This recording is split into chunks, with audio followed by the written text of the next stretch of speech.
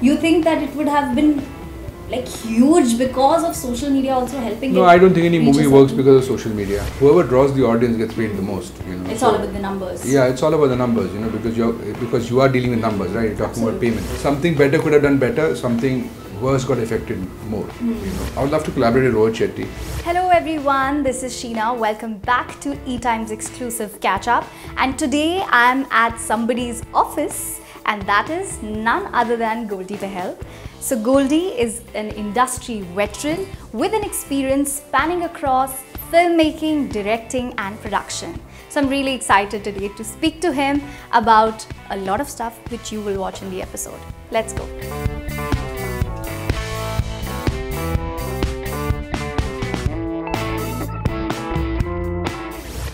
Sir. Welcome to E Times exclusive catch up with stars.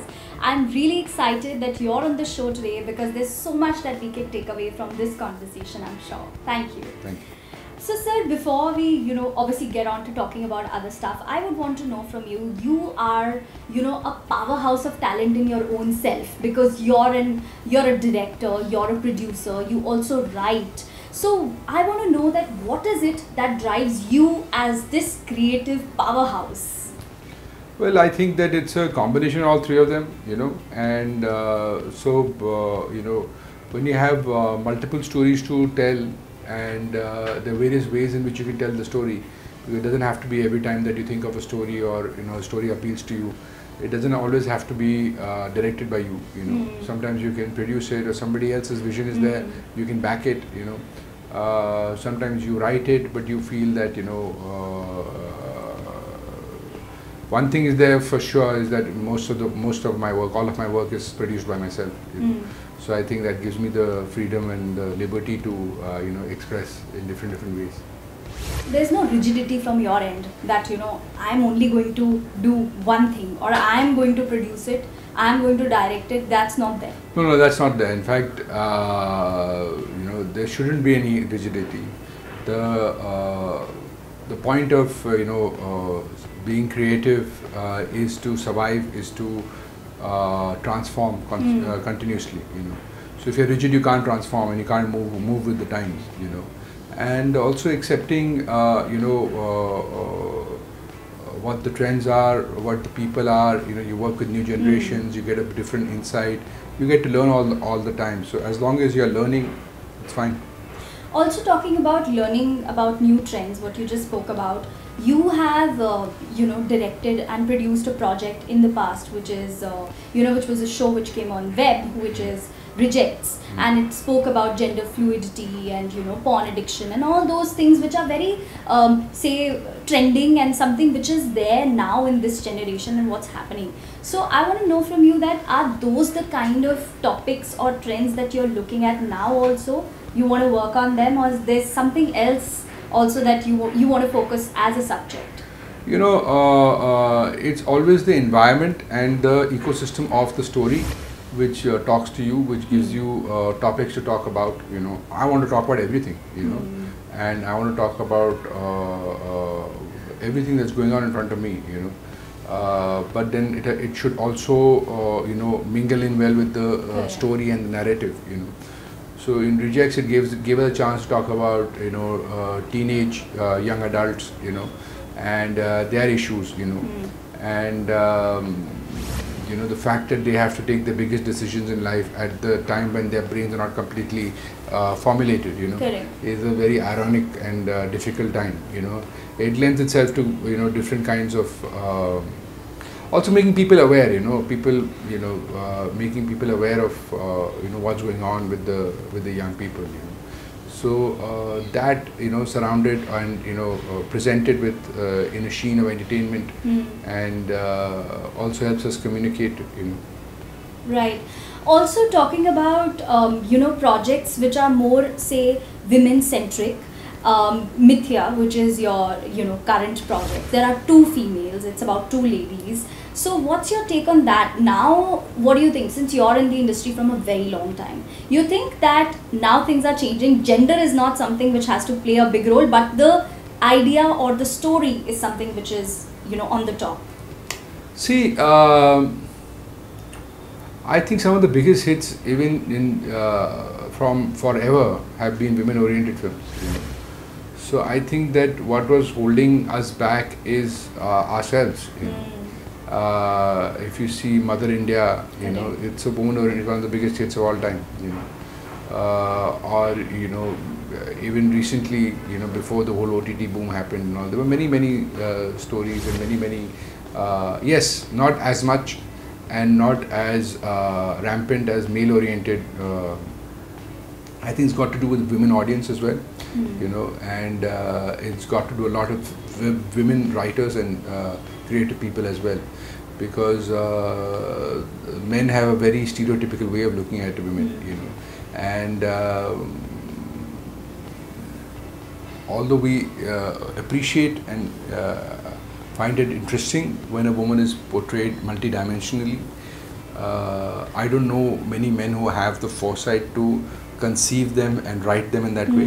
Yes, it is becoming more rampant now, and it should. Why not? Uh, ultimately, we are all uh, slaves to the audience, you know. Absolutely. And uh, as long as the audience is accepting it, we are happy to uh, make it, you know. But do you also feel that this is a kind of an ecosystem because you know they always say that this is always a debate that films are a reflection of the society or it is how films are made then it you know obviously reflects on this reflects on the society and if we see today you know a big film like big budget film like Gangubai also having a woman uh, you know protagonist and of course then there's Mithya which has two ladies as the protagonists so do you think that you know this is what the society has kind of reflected or this is what cinema is trying to reflect on the society No, I think it's always society that reflects on cinema. Uh, as a writer, as a producer, as a, as, as a director, anybody, not only me, uh, we uh, uh, draw a lot from our environment and what we experience. You know, so I think that you know, uh, women uh, have uh, are finding uh, more space and rightfully so. And I think that that's uh, we're just reflecting that. Mm. I don't think it's the other way around. so it's a good change that the society is Absolutely. uh, reflecting on the cinema i would yeah. say and it's got to do with the with the women more you know uh, you know they are much more confident and and sure about themselves Mm. and know, that's that's the only thing that matters, you know. Yeah. And not only women, even a man, you have to be sure about yourself. Absolutely. It's all about self confidence. Yes. But you've been in the industry for a very long time. Mm. You're a veteran now, we can say that. But you see a massive difference if we take you down the memory lane and you know we tell you from the time you started, tab kya hota tha or abhi kya different aapko lagta hai Are you talking about uh, the filmmaking style? Yes. Or and are you talking about uh, women oriented yes. subjects? Yes. Uh, well, I I prefer this working style. You Mm. know, it's more equipped uh, uh, for my thinking and my Mm. belief system. Uh, you know, uh, so definitely it's far more organized. You Mm. know, uh, far more liberating. Mm. You know, more more democratic. Uh, truly understand uh, systems and how to work with them, and uh, uh, you know, making it a team effort. You know and um, uh, and stories are stories yeah you know Mm. you know it's the fact that you know it's about a woman or a man is secondary you know Mm. it should appeal you know and that's about it you know and I, i'm glad we have reached that stage you know where we don't have to uh, first think of the hero and then decide the story you know Yeah. So since you're a producer and you run most of the shows and films, so this is a question that's very relevant to you. So you think that uh, we'll also reach a stage where you know where this pay parity is sort of you know on the equal grounds? i think it is already Yeah. It's a very controversial statement I'm making, but I feel it is already because I feel that uh, whoever draws, as far as the theatre goes, you know, uh, cinema halls, whoever draws the audience gets paid the most. You know, It's So- all about the numbers. Yeah, it's all about the numbers, you know, because you because you are dealing with numbers, right? You're talking about payment. So uh, if uh, Deepika uh, pulls in more audience than Ranveer Singh in Padmavat, then she should get paid more. Or if Aishwarya is the bigger star than Abhishek, then she should get paid more. You know. Um, so I just feel that uh, yes, uh, have they been given enough opportunities to pull the audience? Mm. Now that's coming true, and you'll see Yeah. more and more of that. You know. Absolutely. Uh, that's something that has been wanting and now that's happening so i think that whoever can draw the audience in you know on whose uh, back you are riding the uh, budgets of the uh, content uh, of the story uh, they should get paid uh, accordingly. You know, uh, I've done a lot of television also, GEC, yeah. and over there, so the women always get paid more than the men. You know, so uh, so that I've seen that very relevant. You know, uh, uh, all the time. Right. You know, so uh, and you know on GEC, so the women are the central characters. Absolutely, yeah.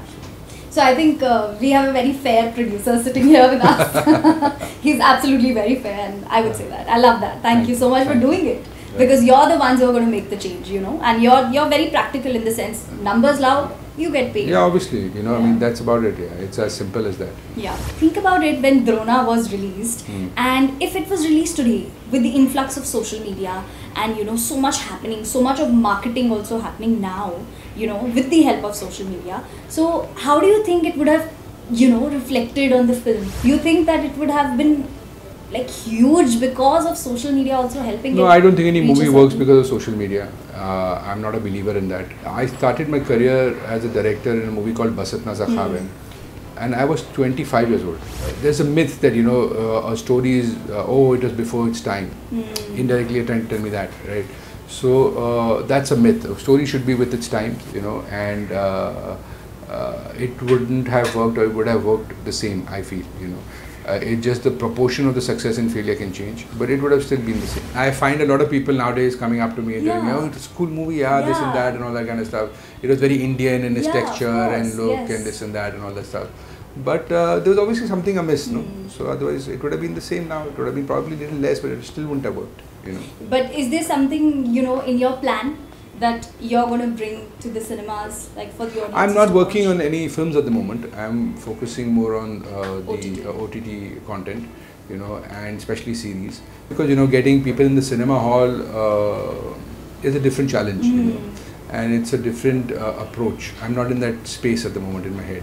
Yeah, absolutely. And COVID obviously has a huge role to play in that. Uh, yes and no because uh, you see see what Malay- Malayalam cinema did, right? Oh my god. you know uh, they made content that uh, uh, made people come you know so i don't agree with the bogus of uh, corona uh, beyond a point of course there were there, there was a lockdown there was a lockdown but you know even over here uh, spider-man did come out and pushpa did come out and you know they did exceedingly well uh, suryavanshi came out it did exceedingly well you know proportion yes suryavanshi would have done more business but it did good business right Hmm. you know what i'm saying or Spider-Man would have done even more. I don't Yeah. know how, but it would have done even more. But it did do good business. So did Pushpa. It would have done even better. Yeah. You know, so uh, something better could have done better. Something worse got affected more. Hmm. You know, and uh, when I say good and bad, I'm purely talking from a theatrical perspective. Uh, which is uh, if people like it, it's good. People don't like it, it's not that good. So now I'm going to quickly play this fun game with you where I'm going to ask you some questions. Oh God. Okay. Okay. Those are basically your ones. One movie that you want you would want to remake. One movie that I would like to remake. Yes. There's an old movie of my father's called The Train with Rajesh Khanna. I would like to remake that. One novel that you'd like to adapt into a series or a film. That I'm very clear. Chanakya's Chant by Ashwin Sanghi. I've been really dying to adapt that, but there are a lot of limitations. One subject that you feel really strongly about and you'd want to portray more of it in your films and web series. Like I told you, you know, uh, resilience is a subject that I feel very strongly about, and transformation is something I believe very strongly about. Who's that one director that you'd like to collaborate with? It can be from the past, present, anyone. As a producer, Yeah. A producer, director you'd want to collaborate with. I would love to collaborate with Rohit Shetty. Okay, that would be amazing. Yeah, that would be amazing. I really like his. I find it really fun, and I think I can value add to him in a video. Okay, what's that one quality that makes Goldie Behl the Goldie Behl? Quality. I don't know. Yeah. What do you think? You've just met me and spoken to me. I think you're very humble, very down to earth, and Yeah. uh, you pass a lot of knowledge. People used to think I'm very arrogant. You know. I, I disagree with that. Thank you so much, Thank sir. you. It was lovely chatting. Same here. Thank you so Thank much. You so Thank much. you. Thank you so much. Hi, this is Goldie Behl, and you're watching E Times exclusive Catch Up with the Stars. Uh, see you soon.